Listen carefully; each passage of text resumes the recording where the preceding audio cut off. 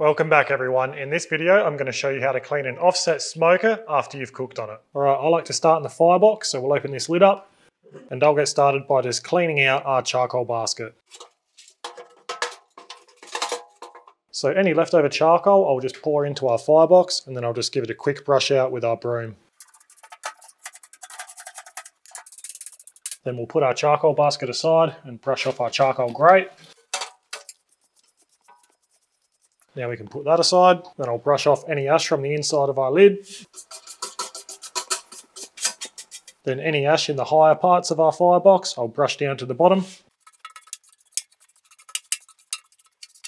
Then I'll lay a bucket down just next to the firebox side door. Then we can open our side door up, then brush any ash and charcoal into our bucket.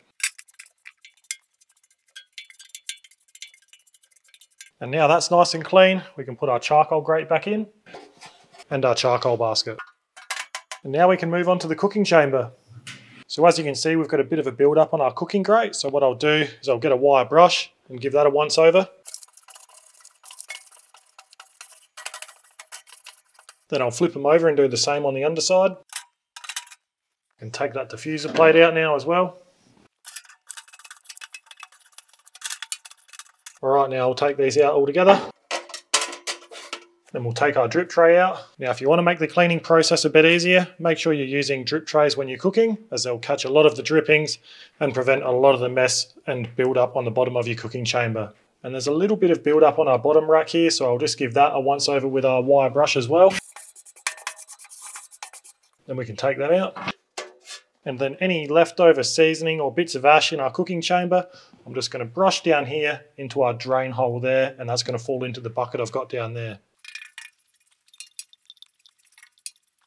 Right, now that's done, we can get our grates back in. Now our internals are nice and clean, I'm just going to give it a nice generous spray with some canola oil. I'll do the same to the inside of the lid. Now we can close our lid. And we'll do the same to the firebox. And we'll shut that lid. We'll give the inside of the side door a bit of a brush. Give that a quick spray with oil. Then we'll shut that. We'll brush off any dust and ash from the outside.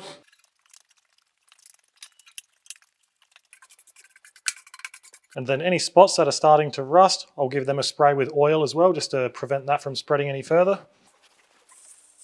So for a quick clean after I've used my offset smoker, that is about as far as I will go. If you can get in the habit of just taking them five minutes to quickly do what we've just done, you're not gonna have to deep clean your smoker as much and it'll be much less messy when you do get around to deep cleaning your smoker as well. And like I touched on earlier, if you're using things like drip trays or foil to catch any mess and drippings, this process is going to take a lot less time as well because it'll be just as easy as removing that foil or drip tray, putting that in the bin as opposed to scraping off all of that rendered fat and drippings or seasoning that's fallen off inside your cooking chamber and got all over your cooking grates. So make sure you're preventing your smoker from getting dirty in the first place if you can. But for now, that's honestly all I'll do for a quick cleanup. So that's the end of the video. If you've got any questions, don't hesitate to ask them in the comments below.